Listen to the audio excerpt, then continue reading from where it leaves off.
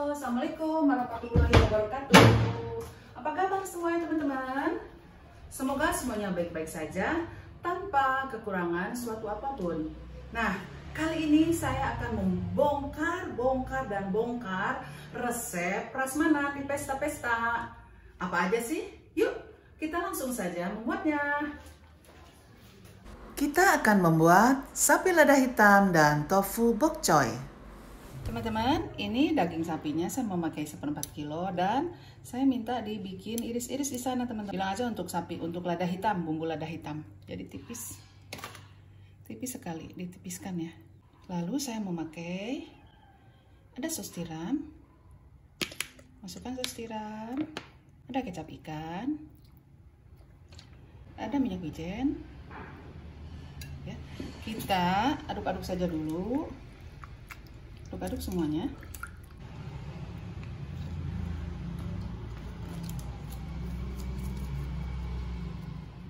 Kita aduk-aduk teman-teman dan biarkan saja agar bumbunya nyerap. Ini adalah daging yang sudah kita rendam dengan bumbu-bumbu. Ada kecap manis bawang putih jahe bawang merah bawang bombay cabai merah daun bawang kaldu dan di belakangnya ada lada hitam. Ini adalah maizena. Dan ada minyak ikan, saus tiram, dan minyak wijen. Lalu untuk bahan-bahan tofu bokconya, ada bawang merah, bawang putih, jahe, cabai merah, bawang bombay, dan saya memakai dua tofunya teman-teman ya. Ini adalah bokcoynya, daun bawang, merica, dan kaldu penyedap.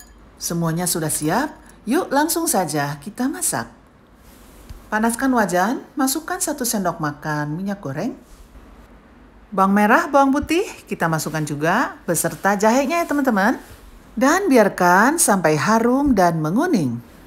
Setelah harum dan menguning, baru kita masukkan irisan daging yang sudah kita rendam dengan bumbu tadi ya teman-teman. Kita tutup saja. Kita masukkan lada hitamnya teman-teman ya. Lada hitam. Lalu kaldunya kita masukkan agar meresap bumbunya. Dagingnya meresap maksudnya tutup lagi. Kita aduk-aduk dulu teman-teman ya. Ini karena saya memakai daging khas teman-teman ya. Jadi cepat empuk. Kita tutup aja lagi biar makin empuk. Ini udah empuk teman-teman. Jadi biar makin empuk baru 10 menit ya. Tetap dimasukkan. Dan tutup lagi. Mari kita lihat hasil tumisan kita. Ini udah 10 menit kemudian ya dari tadi teman-teman. Sepertinya udah empuk sekali dicek rasanya. Lalu masukkan ini adalah bawang bombay. Seperti ini teman-teman ya. Diirisnya tuh. Ini adalah daun bawang dan ini adalah cabai kita masukkan semuanya.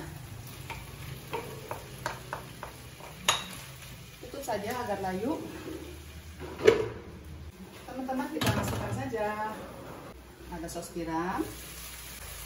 Kecap ikan. Dan minyak wijen satu sendok makan teman-teman minyak wijen ya. Aduk-aduk lagi. Sampai sampai layu teman-teman. Daun bawang dan bumbu-bumbunya meresap semua teman-teman ya. Lihat teman-teman wow. Ini gampang sekali. Sering kan?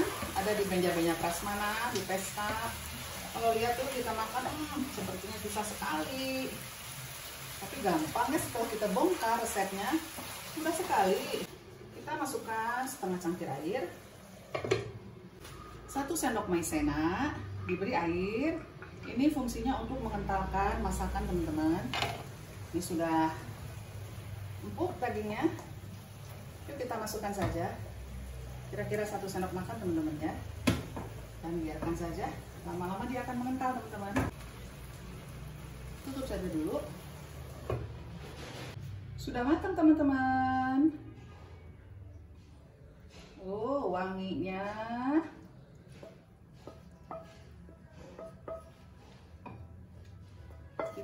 memasak masakan yang kedua. Kita akan menggoreng tofunya. Teman-teman lihat dari seperti ini. Geluntungan kita potong-potong. Jadi seperti ini potong teman-teman ya. Kita goreng teman-teman ini bawang bombay sudah diiris.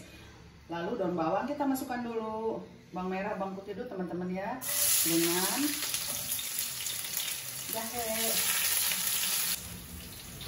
teman-teman bawang merah dan putihnya sudah wangi dan harum. Mari kita masukkan daun bawang dan bawang bombay teman-teman. Kelihatannya sudah layu. Mari kita aduk-aduk saja teman-teman dari tadi saya belum aduk-aduk teman-teman ya. Yang telah aduk-aduk agar warnanya sesuai tidak berubah teman-teman sampai kan ini empuk mari kita masukkan tahu yang sudah digoreng dan sampai kita masukkan.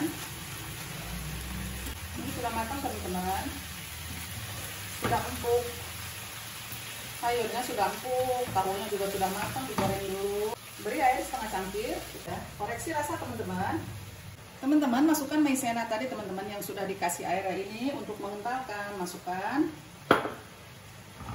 Biarkan sebentar dia akan mengental. Tuh kan? Jadi airnya nggak cemplang-cemplung ya. Kental oleh maizena. Kita matikan saja kompornya. Sudah matang. Sudah matang teman-teman. Mari kita taruh. Wow. Segar ini.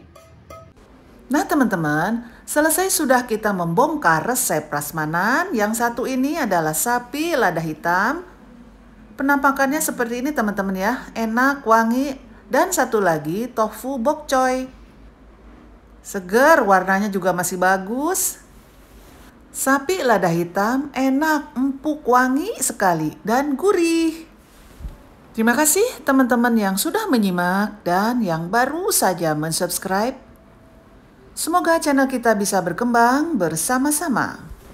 Selamat merikuk ya teman-teman, karena selain pembuatannya mudah, gampang praktis, juga bahan-bahannya pun mudah ditemukan di pasar-pasar terdekat.